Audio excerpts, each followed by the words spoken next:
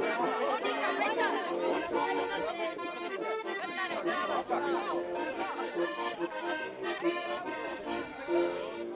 so, to, to, to, velike dašte. To so... Ne, niso včeraj že... Mi smo že treba ob devetih zvodnik. Imamo, tlele imamo šefa, ki to obvlada. Ja, ja, ja. Evo, evo. Mogoče še malo, no. Ja, ja, ja, ja. No, bo dobro? Dobro. Cigareto, prosim. Prosim. Uj, dušen peček, brat. Tihnite. Ni več. Vi ste pa za v parlament. Ja, ja, ja, ja. Ni pa parlament zadelal. Sad ga ima, sad ga ne.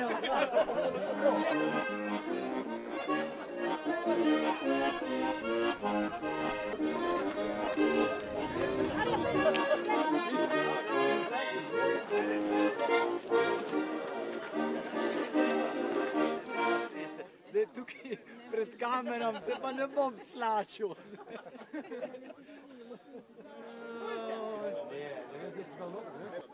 Glav moj dom, kako si krasan, kako me izvabljaš iz nizkih ravan. Pozdravljam najprej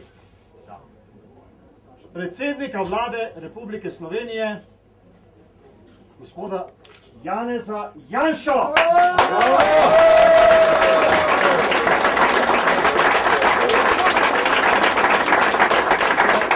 In seveda Uško Bačovnik.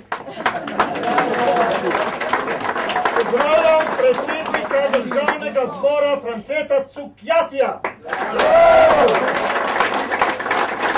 Pozdravljam oba prisotna župana velikih laž, gospoda Zakraška in, in gospoda Riharja občine Vrhnika.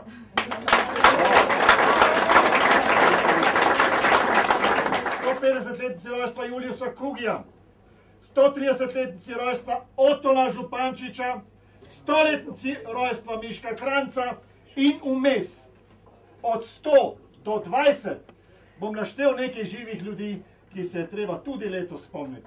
In sicer 80 let Toneta Pavčka, 60 let Draga Jančarja, ga vsi poznate.